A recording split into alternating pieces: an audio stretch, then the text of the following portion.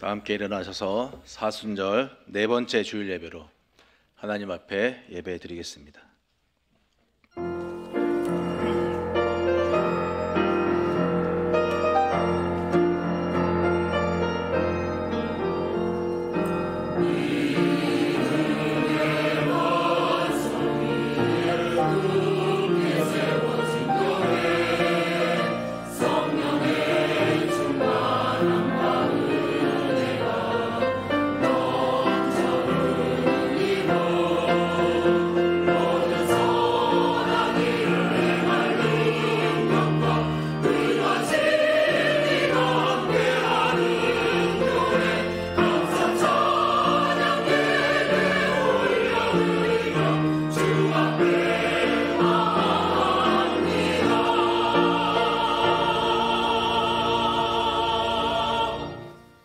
내가 무엇을 가지고 여호와 앞에 나아가며 높으신 하나님께 경배할까?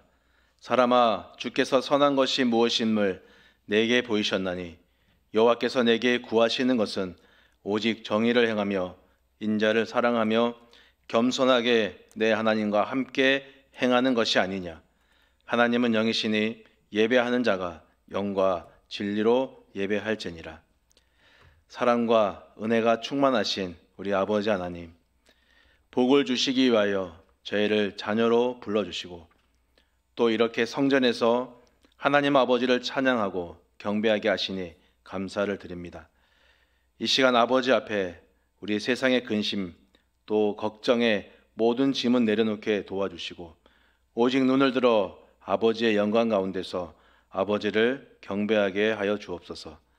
이 시간 우리 입이 열려져서 하나님 아버지를 찬송하며 우리의 손이 들려져서 하나님을 높여드리며 우리의 목소리로 주님의 은혜를 고백할 수 있도록 도와주옵소서. 주님, 저희가 사순절을 보내고 있습니다. 우리의 마음이 언제나 십자가 앞에 머무르며 또 주님의 고난에 더욱 다가설 수 있도록 인도해 주옵소서. 예수님의 이름으로 기원하옵나이다. 아멘. 나는 전능하신 아버지 하나님, 전지의 창조주를 믿습니다. 나는 그의 유일하신 아들 우리 주 예수 그리스도를 믿습니다. 그는 성령으로 잉태되어 동정녀 마리아에게서 나시고 본디오 빌라도에게 고난을 받아 십자가에 못 박혀 죽으시고 장사된 지 사흘 만에 죽은 자 가운데서 다시 살아나셨으며 하늘에 오르시어 전능하신 아버지 하나님 우편에 앉아 계시다가 거기로부터 살아있는 자와 죽은 자를 심판하러 오십니다. 나는 성령을 믿으며 거룩한 공교회와 성도의 교제와 죄를 용서받는 것과 몸의 부활과 영생을 믿습니다. 아멘.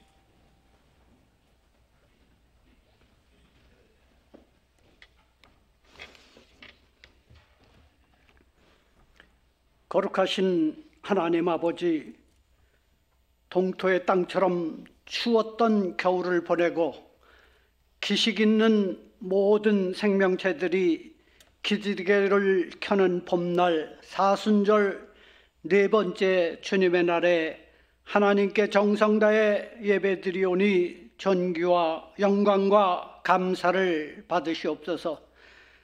말씀대로 살겠노라 기도하며 구별된 자로 살겠노라며 입술에 다짐이 있었지만 교만함과 오만함의 말씀을 지키지 않고 기도하지 않고 구별된 자리에도 있지 아니했습니다.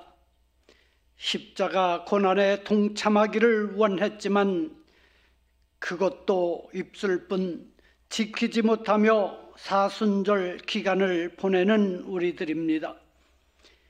이 시간 간절한 마음으로 가슴을 치며 회개하오니 용서하여 주시옵소서. 그럼에도 기다리시며 여기까지 인도해 주신 하나님께 감사를 드립니다.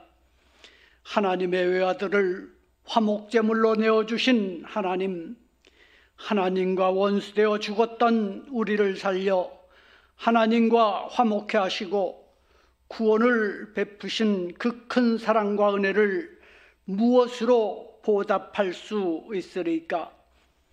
항상 기뻐하며 쉬지 말고 기도하며 모든 일에 감사하시라는 하나님의 말씀이 그 하나님의 우리들을 향한 뜻일진데 우리의 삶 속에서 조금이라도 하나님의 뜻을 실천하는 대양 가족들이 될 수 있기를 간절히 소원합니다. 우리나라를 붙들고 지키시는 하나님 감사합니다. 숱한 고난과 역경 속을 헤맬 때마다 개입하셔서 하나님의 뜻대로 세계가 부러워하는 정치, 경제, 사회, 문화, 국방 등에서 선진 국가인 자윤 대한민국을 이룩할 수 있었습니다. 전적인 하나님의 은혜와 사랑이었음을 선포합니다. 아멘. 하지만 풍요 속에 교만함이 하늘을 찌르고 있습니다. 지극히 극단적인 이기주의에 편승한 님비, 진리와 정의가 사라진 팬덤 정치 풍토, 지나친 편가르기에 흔들리는 이 땅을 용서하여 주시옵소서. 교만은 패망의 선봉이라 말씀 주신 같이 교만한 마음으로 살았을 때 망하였습니다. 좀 더 겸손히 사랑과 감사, 배려가 넘치는 기본으로 돌아가는 날을 간절히 원합니다. 하나 되게 하옵소서. 우리 대한교회를 위해 기도합니다. 교회 주변은 익은 곡식들로 채워져 있습니다. 거둬들이는 일만 남아 있을 때에 분명 우리 우리는 일을 해야 합니다. 그 사명을 받은 저와 우리 모두가 되기를 원합니다. 이제 코로나 이후로 게을러진 우리의 영성의 치유와 회복을 소망하는 가운데 귀한 강사를 모시고 병들었던 영성을 치유하는 잔치가 오늘부터 3일간 실시됩니다. 우리의 문을 놓고 하시는 주님께 우리의 문을 열어드리는 귀한 은혜가 차고 넘치는 시간 되기를 원합니다. 앞으로 다음 세대를 양육하는 일에 좀 더 뜨거운 기도와 관심과 사랑이 펼쳐지고 결실을 이루는 교회 되기를 소망합니다. 함께하여 주시옵소서. 담임 목사님께 성령의 갈급함과 충만함 속에 오늘도 들려주시는 하나님의 말씀이 이전을 가득 채우는 울림이 있기를 원합니다. 우리 모두 아멘으로 화답하는 은혜가 충만한 시간 되게 하여 주시옵소서. 해외 선교 현장에서 복음을 전하는 선교사들의 지경이 넓혀지고 북녘 땅에도 봄과 함께 복음의 씨앗들이 움트는 땅으로 변화시켜 주시옵소서. 이 시간도 두 손 모아 병상에서 기도하는 손길들이 있습니다. 아버지 하나님, 저들의 육신의 질병과 질고를 치유하여 주시옵소서. 아가페 찬양대에 준비된 찬양을 기뻐 받아 주시옵기를 원합니다. 이 모든 말씀 우리를 죄에서 구원하신 예수 그리스도의 이름으로 기도드리옵나이다. 아멘.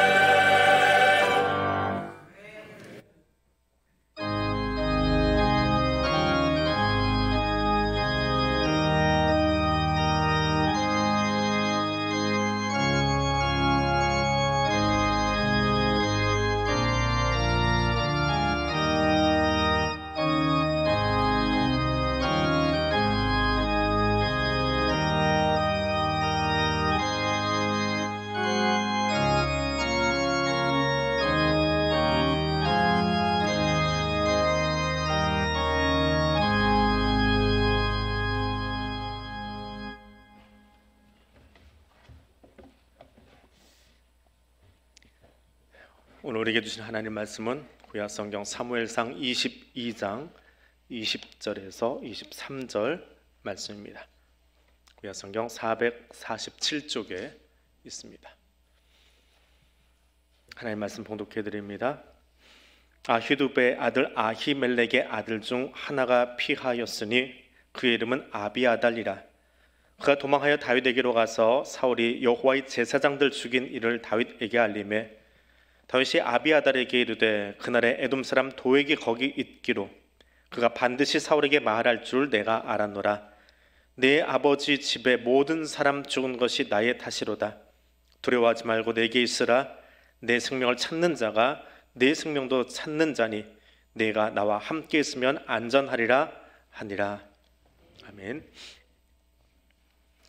예, 우리 새벽에 계속해서 사무엘서의 말씀을 보고 있는데 음, 오늘 이 대목을 몇 번을 좀 보았습니다. 어, 마음속에 좀 어, 걸리는 것들이 있어서 이게 뭔가 하라고 묵상을 하다가 함께 말씀을 나눕니다. 미국에서 원수 계급 그러니까 별 다섯 개를 단 사람이 다섯 손가락에 꼽습니다. 어, 2차 대전 중에 예, 필요에 의해서 만들어진 계급이고 지금은 존재하지 않, 않습니다. 그 원수 계급까지 올라간 사람 중에 메가더 우리가 잘 아는 메가더 장군이 육군 사관학교 교장으로 있었을 때의 일이라고 합니다. 하루는 국방위원들이 그러니까 국회의원들 중에 이제 국방위 소속 의원들이 시찰을 나왔습니다. 메가더는 각종 보고를 다 마치고 나서 위원들을 자기 방으로 안내했습니다. 그 방 안에는 교장실에는 아무것도 없고 그래서 야전용 침대 하나만 놓여 있었다고 합니다.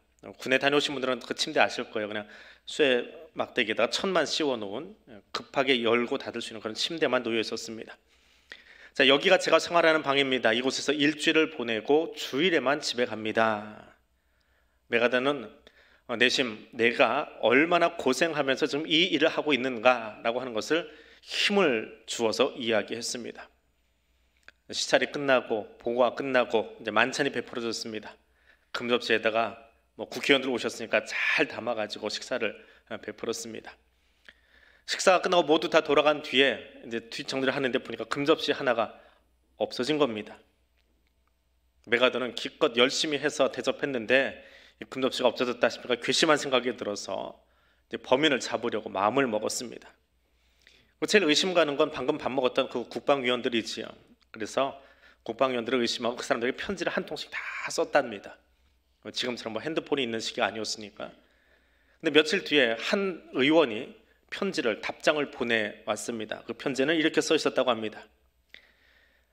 만일 장군님께서 그날 밤에 야전용 침대에서 주무셨다면 벌써 금접시를 찾으셨을 겁니다. 제가 모포 밑에 접시를 넣어 두었거든요. 메가더의 거짓말은 망신을 사는 것으로 끝났다고 합니다. 근데 오늘 성경의 거짓말은 좀 다릅니다. 그 결과가 너무 참혹했기 때문에 그렇습니다. 또 이 대목을 이해하기는 조금 난해한 부분도 없지 않아 있습니다. 이 본문은 짧게는 22장에서 더 크게는 다윗이 사울에게 쫓기기 시작했던 때부터 시작하는 이야기입니다. 자, 사무엘상 22장에서 다윗은 노베 제사장 아히멜렉을 찾아갑니다. 이 다윗의 등장에 아히멜렉이 떨었다라고 적고 있습니다. 자, 다윗은 그 아히멜렉 제사장에게 왕의 은밀한 일을 행하기 위해서 내가 여기 와 있노라라고 말하면서 자기와 함께한 소년들과 먹을 수 있도록 음식을 좀 내어 달라고 그리고 제사장이 보관하고 있던 그 골리앗의 칼을 달라고 요청하고는 그 조를 받아서 자리를 떴습니다. 그런데 그곳에 사울의 목자장 다른 성경 본문에서는 아, 나귀 치는 관리라고 되어 있습니다. 이 목자장 도액이 있었다라고 적고 있습니다. 그리고 얼마 지나지 않아서 다윗의 행방을 알게 된 사울이 이를 알려주지 않은 것에 대해서 주변 사람들에게 화를 내니까 도액이 노베서 있었던 그 일, 음식도 얻어가고 칼도 가져갔다라고 하는 그 일을 사울에게 이야기합니다. 노베 제사장들이 제사장 그룹이 내가 아니라 다윗에게 줄을 섰다라고 하는 것 때문에 사울이 화를 냈고요. 그 결과로 노베 제사장과 그 가문, 그 가족들 여든 다섯 명이 죽는 대참사가 일어납니다. 자, 이 참사 뒤에 끝까지 살아남게 된 딱 한 명, 아히멜렉의 아들 아비아다를 통해서 자기가 도망온 아비아다를 통해서 다윗이 이 전모를 다 듣게 됩니다. 그리고 하는 말입니다. 그날의 에돔 사람 도에게 거기 있기로 그가 반드시 사울에게 말할 줄 내가 알았다. 네 아버지의 집에 모든 사람 죽은 것이 나의 탓이다. 라고 탄식합니다. 근데 여기서 의문이 생깁니다. 다윗은 노베서 도액을 보고 왜 그냥 나왔을까라고 하는 겁니다. 오늘 그것을 함께 나누려고 합니다. 첫 번째로 우리가 나눌 이야기는 나는 죄인입니다라고 말하며 회개의 자리로 나아가고 있는 다윗의 모습을 보려고 합니다. 성경은 이 대목 22절에 대해서 자세하게 설명하지는 않습니다. 그러나 분명하게 다윗은 노베 제사장 아히멜렉을 만날 때 도에게 거기 있는 것을 알았습니다. 그것을 22장 7절에서 그리고 22절에서 말하고 있습니다. 사울의 관리가 거기 있었는데 도에게 거기 있는 것을 알았는데 그가 사울에게 가서 이 일어난 일들 자기가 지금 떡을 가져가고 칼을 가져가는 이 일을 고변할 것을 짐작하지 못했을까요? 그렇지 않습니다. 다윗은 알고 있었습니다. 오늘 22절 아까 띄웠던 그 본문이지요. 도에게 반드시 사울에게 말할 줄 내가 알았다. 근데 이 문장은 더 기가 막힌 건 히브리어를 열어놓고 보면요. 이 행동이 아주 강조되고 있습니다. 도액이 할 것을 분명하게 알았다라고 하는 겁니다. 도액이 사울에게 노베서 일어난 일을 말할 수도 있고 어쩜 뭐 안 하고 넘어갈 수도 있다. 그래서 후자가 일어나기를 그러니까 말하지 않기를 기대하면서 도액이 있지만 그냥 그날 나왔다라고 침묵했다 그거 아닙니다. 다윗은 알고 있었습니다. 도액이 있었다는 것도 알고 있고 그리고 도액이 사울에게 고자질 할 것도 분명하게 알았다. 히브리어는 그렇게 적고 있습니다. 분명하게 절대적으로 알았다. 확실히 알았다. 그런데 다윗은 침묵했다. 내가 입 다물었다. 라고 말합니다. 다윗이 아히멜렉 제사장에게 나는 지금 왕의 은밀한 일을 행하느라 여기 와 있습니다. 라고 이절에서 거짓말을 합니다. 거짓말을 하는 와중에 어떤 이유에서인지 사울의 관리인 도액이 노베 와 있었습니다. 제가 거짓말을 하고 있다 보니까 아비멜렉에게 이야기를 하거나 혹은 도액에게 조치를 취할 수가 없었던 겁니다. 또 도액을 보는 순간 다윗이 아히멜렉에게 제사장님 잘못했습니다. 제가 거짓말했습니다라고 말하기에는 지금 양식이 필요했고 무장하기 위해서 칼이 필요했는데 이것을 다 포기해야 했습니다. 또 무엇보다 아히멜렉이 다윗에게 가지고 있던 인상이 있어요. 그는 용사이고 만만을 친 사람이고 사울의 사위이고 군대 장관이고 근데 그런 그 멋진 이미지들이 나 거짓말했어요라고 하면서 거짓말쟁이로 낙인 찍히는 것에 대해서 두려워했을 수도 있습니다. 그런데 그 결과가 너무 참혹했지요. 다윗이 예측했던 것처럼 아니 확신했던 것처럼 도액이 사울에게 고자질했고 아히멜렉만이 아니라 높당에서 제 업무를 수행하고 있던 엉뚱한 사람들까지 여든 다섯 명의 제사장 가족이 학살당하는 일이 벌어집니다. 다윗은 이 참사가 사울이나 도에게 잘못해서 그랬다 탓하지 않습니다. 자기 때문이다 라고 말합니다. 책임을 모면하기 위해서 사울이 광기에 걸려 이렇겠다 비난하지 않습니다. 도에게 고자질증이다 라고 욕하지 않습니다. 다윗은 그렇게 하지 않았습니다. 자신의 실수에 대해서 거짓말에 대해서 책임질 줄 아는 그것에서 다윗의 영성이 자라가고 있습니다. 다윗은 그렇게 성장해 가고 있습니다. 어, 통계에 의하면 사람은 하루에 보통 200번 거짓말 한답니다. 그리고 어느 심리학자 연구에 의하면 처음 만난 사람과 대화하는데 처음 본 사람이에요. 그 사람과의 대화 속에 10분 동안 세 번의 거짓말을 한다 라고 하는 분석도 있습니다.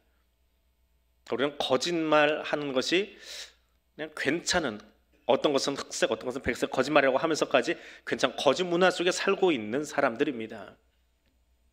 그 안에서 다윗은 살기 위해서 했던 거짓말인데 그것을 해서 스스로 얘기합니다. 나는 유죄입니다.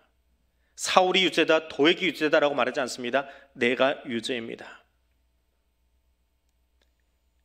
이것을 이야기하면서 다윗의 거짓말을 옹호하거나 편들어 주자는 것 아닙니다. 하나님을 보십시오.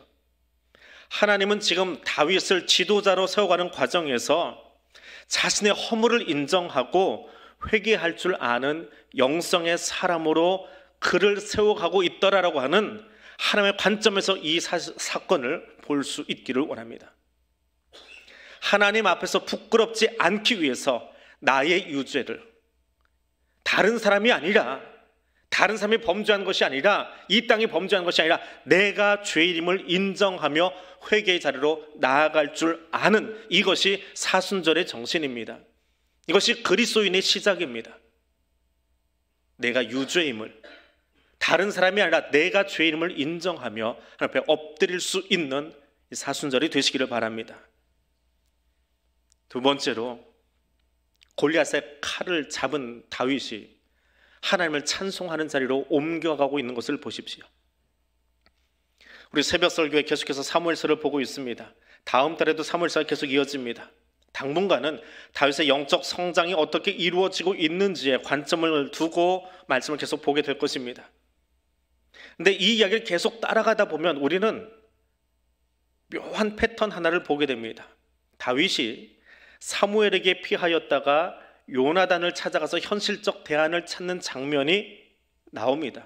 새벽기도 나오신 분들이나 영혼의 양성에서 보신 분들 기억하시지요?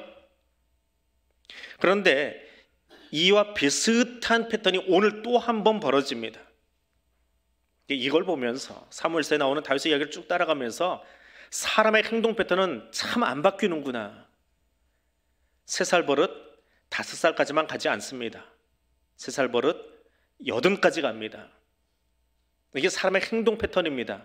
조금씩 조금씩 나아지고 줄어들기는 하지만 못된 버릇도 계속해서 가져갑니다. 저 사람 예수 믿고도 왜 저래? 그게 사람이에요. 그게 죄인이에요. 잘 바뀌지 않습니다. 그것을 누구를 지적하기 위함이 아니라 다윗을 통해서 하나님이 우리에게 들려주고 계세요. 어지간히 안 바뀌고 있어요. 근데 중요한 건 하나님도 어지간히 포기하지 않으세요. 그 안 바뀌는 사람을 포기하지 않으시는 하나님이십니다. 다윗이 노베 아히멜렉을 찾아갑니다. 앞에서 사무엘 찾아갔던 것처럼 다윗이 선지자를 제사장을 찾아가는 것은 하나님을 의지하기 위한 행동으로 보여집니다. 근데 그 뒤에는 좀 의아한 행동이 나타나요.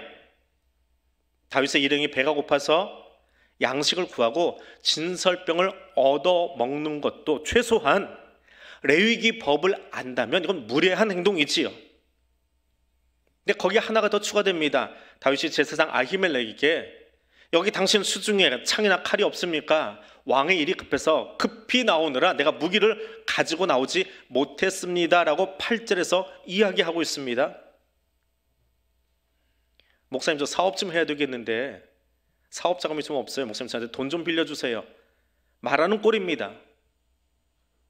제사장에 가서 칼 대 놓으라라고 이야기하고 있습니다. 어찌 보면 인간적인 생각으로 따져보면 그럴 수 있지요. 오죽하면 그런 말 하겠습니까? 하지만 다윗이 요구한 골리앗의 칼이 무엇입니까? 이스라엘 하나님을 모욕하며 휘둘렀던 그거 아닙니까? 그 모욕적인 언사 때문에 다윗이 물맷돌 던져서 그를 쓰러뜨리고 그를 목 베었던 칼 그거 아닙니까? 그런데 지금 그 칼로 자기를 무장하고 자기를 보호하겠노라고 제사장 아히멜렉에 거짓말까지 해가며 보호장구를 챙기고 있는 그 아이러니한 장면이 21장입니다. 얼마나 아이러니해요.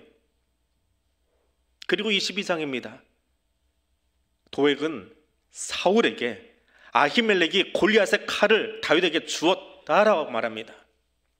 그럼 사울의 입장에서 생각해 보세요. 아히멜렉이 천둥 벌거숭이 같은 다윗을 무장시켜 준 거지요. 더군다나 당시에 사울이 기거하고 있던 곳, 당시의 수도는 예루살렘이 아닙니다. 그건 다윗 때 점령했으니까요. 기부하라고 하는 도시에서 왕으로서 통치하고 있는데 이 기부하라고 하는 곳과 다윗이 칼을 얻어찬 노분요 지근 거리예요. 너무 가깝습니다. 서울 분당 따지면 될까요? 아주 가까운 거리예요. 그곳에 다윗이 나타난 것도 기함할 일인데 칼로 무장을 시작했습니다. 어떤 사람이요? 만만의 다윗이 칼로 무장하고 천천히 사울을 노려보고 있다라고 생각해 보십시오. 그것도 저 가까운데 우리로 치면 뭐 성남이나 분당쯤 되는 곳에서 칼 차고 있다. 그럼 얼마나 끔찍한 일입니까? 그러니까 사울의 입장에서는 더 광기를 부릴 수밖에 없는 현실적인 이야기가 이스라엘 지도 속에서 보여집니다. 그런데 사람의 생각과 사람의 사고는 여기까지만 하게 합니다. 무엇이 여기까지냐? 성경은 골리앗 칼에 관한 이야기를 더 이상 하지 않는다라고 하는 겁니다. 21장에서 아히멜렉이 다윗에게 칼 주었고 22장에서 도에게 고자질 하느라 한 번 더 언급되었습니다. 그리고 이 칼의 행방이 성경에 기록되지 않았습니다. 성경도 더 이상 이 칼에 관심 두지 않습니다. 하나님의 관심이 없다는 거지요. 심지어는 전설조차도 성경 외에 신학자들이 보는 자료들이 여러 가지인데 전설 같은 이야기들이 있습니다. 확인되지 않은 이야기들이. 근데 거기도 이 칼에 대한 이야기가 없습니다. 왜 이렇게 이야기하냐면 하다못해 솔로몬 시대 이후에 사라진 언약궤 그 언약궤의 행방은 지금도 관심이 많습니다. 이거 어디로 갔을까? 누가 가져갔을까? 그리고 이집트나 에디오파에 가면 그곳에 있는 그 기독교 교파를 콥틱 교회라고 합니다. 콥틱 교회라고 하는데 콥틱 교회 어딘가에 보관이 되어 있다라고 말합니다. 그래서 에디오피아에 선교사로 갔던 분은 그 이야기도 해요. 1년 중 하루는 언약궤로 공개하는 날이 있대요. 근데 아무도 보지 못한대요. 왜냐하면 눈 감게 하기 때문에. 그거 보면 죽는다 그래서 눈 감게 한답니다. 그리고 공개됐다 말하고 다시 집어넣어 버린답니다. 서로 자기가 가지고 있다고요. 그만큼 언약궤는 관심이 있어요. 그런데 이 칼은 관심이 없어요. 자, 이 질문에 관한 답입니다. 왜 이 골리앗 칼이 두 번이나 등장하는데 성경에서 갑자기 사라졌을까? 왜 아무도 관심 갖지 않을까라고 하는 겁니다. 골리앗의 칼을 들고 자신을 지키기 위해서 무장했던 다윗이 아비아다를 통해서 노브에 있었던 학살 이야기를 듣습니다. 그 뒤에 다윗이 한 일이 하나 있어요. 이 사무엘서와 열왕기서는요 시편을 군데군데 시사를 끼워 넣으면 또 다른 답이 보입니다. 시편 52편입니다. 노베 학살을 듣고 나서 다윗이 찬송을 하기 시작해요. 하나님께 기도하기 시작해요. 그리고 그 찬송 가운데 그 기도 가운데 한 대목입니다. 자신을 하나님 집에 있는 푸른 감람나무 같다라고 찬송합니다. 다윗이 노베 이야기를 듣고 나서 하는 이야기예요. 내 인생을 지켜주는 것은 칼이 아니다. 하나님 집에 머무는 것, 하나님의 영역 안에 들어가 있는 것이 가장 안전하고 영원한 것이다라고 찬송하고 있습니다. 다윗이 그렇게 변했습니다. 그래서 하나님도 성경도 더 이상 이 칼을 언급하지 않고 있는 겁니다. 여러분 손에 지금 어떤 칼이 들려 있습니까? 세상의 힘과 지식과 내 경험을 의지하려고 하는 그 세상의 칼이 혹 들려 있고 있지 않은지요? 시간이 지나면 썩어버리고 없어져 버릴 그 쇳덩어리가 아니라 그 돈이 아니라 그 권력이 아니라 그 영원하지 않은 칼은 내려놓고 영원하신 성령의 검 말씀의 검을 붙들고 일어서는 이 사순절 될 수 있기를 원합니다. 세 번째로 유죄를 인정한 그 다윗 자신의 행동으로 보여줍니다. 다윗이 아히멜렉의 아들 중 하나인 아비아다를 통해서 롭에서 일어난 일을 듣습니다. 얼마나 참담했을까요? 하나님의 백성, 하나님의 구별한 성민이라 일컫는 이스라엘, 그 이스라엘의 통수권자인 사울이 제사장 마을을 쑥대밭을 만들어 버리고 학살을 자행했다. 자기 손으로 하기 싫어서 이방인인 도에게 손을 빌어서 말입니다. 이 일을 듣고 나서 다윗이 했던 이야기입니다. 23절입니다. 아비아달에게 두려워하지 말고 내게 있으라. 내 생명 찾는 자가 내 생명도 찾는 자니 내가 나와 함께 있으면 안전하리라. 사울이 아히멜렉과 그 가족 죽인 진짜 이유는 그들이 다윗 편에 섰기 때문입니다. 그래서 다윗은 제사장들의 죽음에 있어서 그 잘못이 사울이 자기를 죽이기 원했다는 사실에서 온 결과다. 나를 죽이려다가 결국 그 사람들까지 엉뚱하게 죽게 되었다. 그래서 가슴에 침으로 끌어안은 겁니다. 그리고 이 일에 대해서 다윗은 스스로에게 유죄를 선고합니다.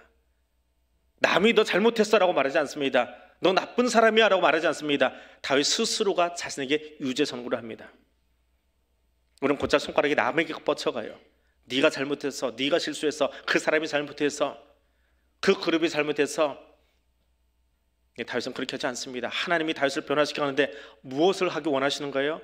남 탓하는 것이 아니라 저들 때문이 아니라 내가 죄인이라고요. 내가 죄인이라고요.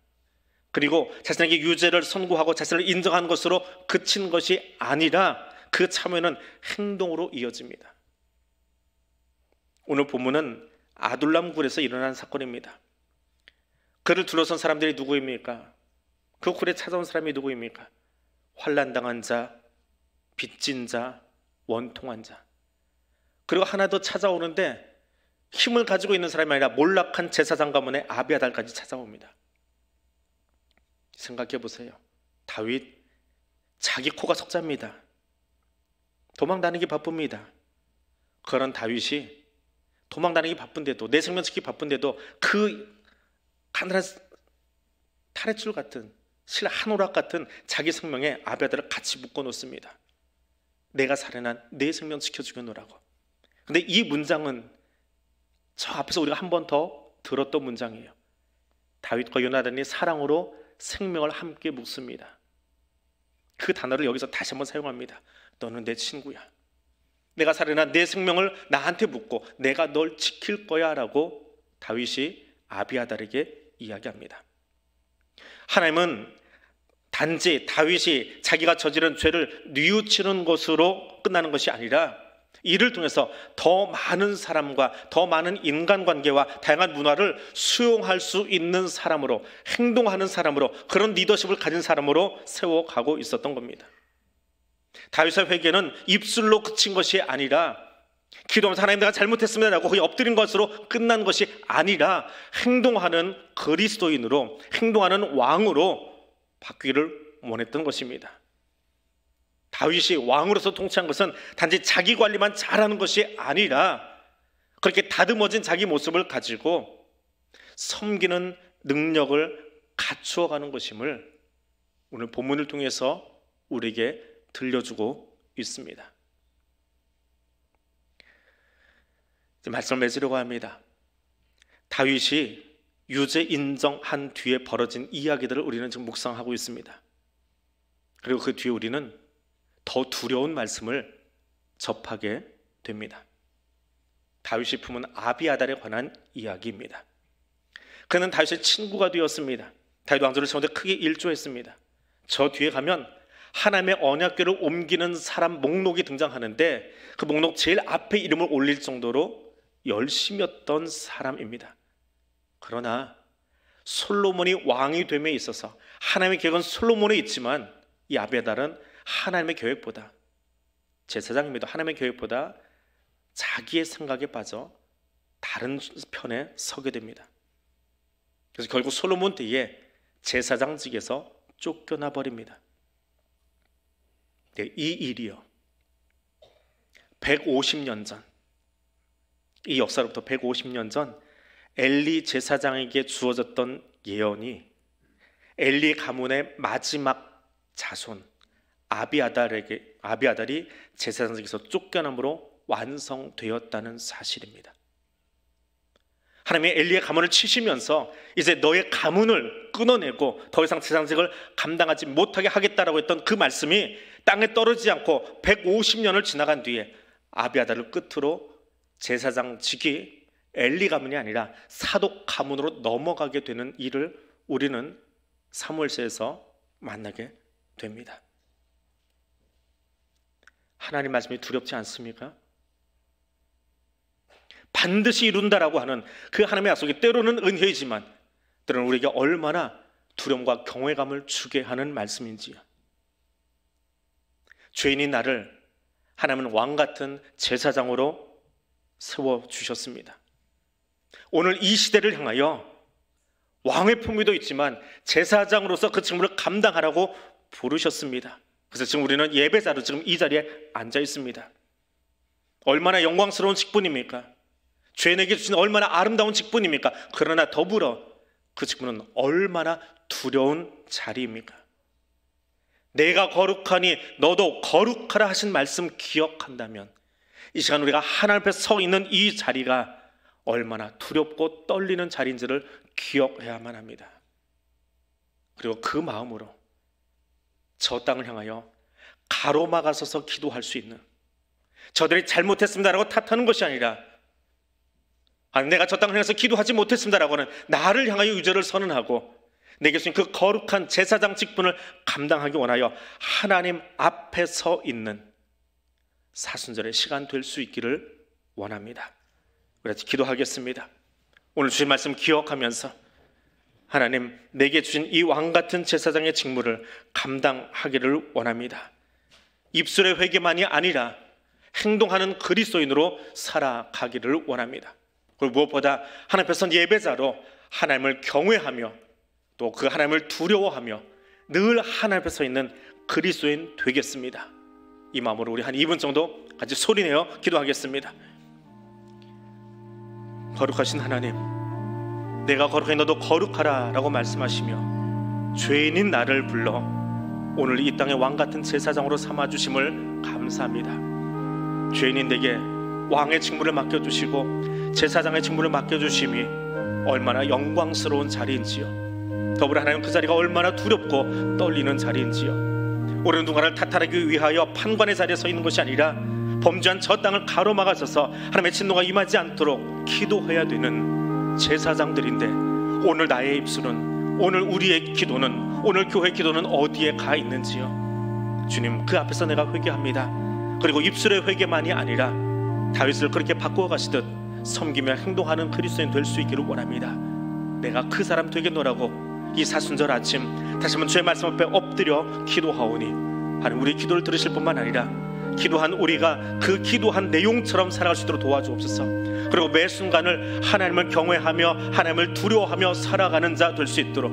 그리고 오늘 이 예배 자리만이 아니라 내가 서 있는 모든 곳이 하나님 앞에 서 있는 곳임을 알고 두려움 가운데 하나님 경외함 가운데 살아가는 그리스도인 될 수 있도록 성령님 우리와 함께하여 주시옵소서. 성령 그렇게 우리를 인도하여 주시옵소서.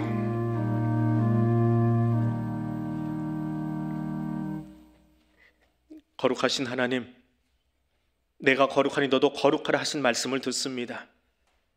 자신의 말 때문에 벌어진 일을 회피하지 않고 책임지는 다윗의 모습을 보았습니다. 그를 재련해 가시며 하나님의 나라가 무엇인지를 들려주시는 말씀을 들었습니다. 오늘 이 시간 나도 하나님의 말씀 앞에 무릎 꿇습니다.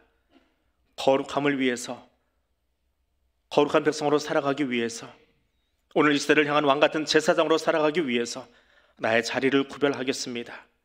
내 입술을 구별하겠습니다.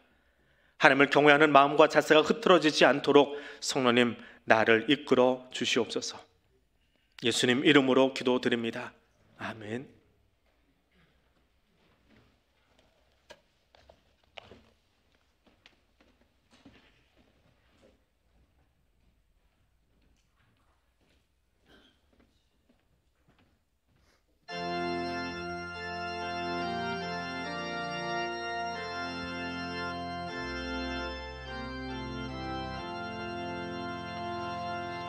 너 성결 기 위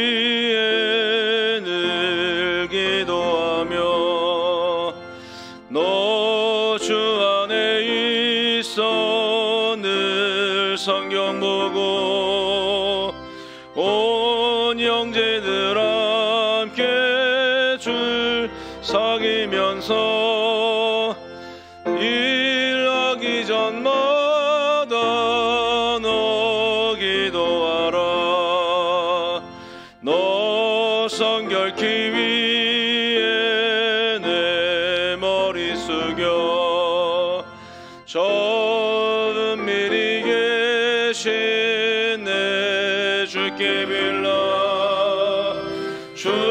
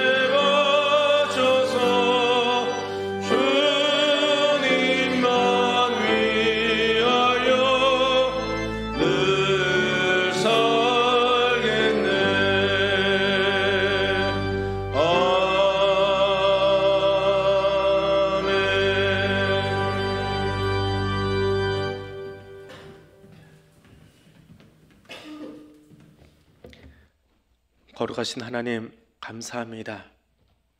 죄인인 나를 부르셔서 왕 같은 제사장 그 영광스러운 직무를 맡겨 주시니 감사드립니다. 그 하나님 앞에 나를 온전히 올려 드립니다.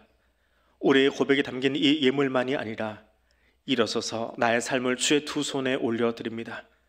그 주님 앞에 구별되어 일어선 자리가 비단 예배자로 서 있는 이 자리만이 아니라 우리가 살아가는 모든 삶의 자리가 살아있는 삶의 예배자로서 서 있는 자리, 제자의 직무를 감당하기 원하여 서는 자리 될 수 있기를 원하오니 성령의 무리와 함께하여 주옵소서.